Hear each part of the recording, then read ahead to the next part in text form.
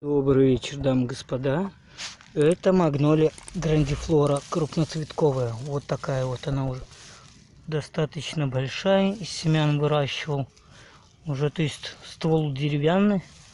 Вот так вот уцепил ее соломкой. Я думаю, она хорошо выживет.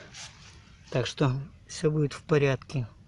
Вот такая вот. Ну, если начнутся морозы, там прям серьезную пятишку поставлю сверху и я думаю этого будет достаточно.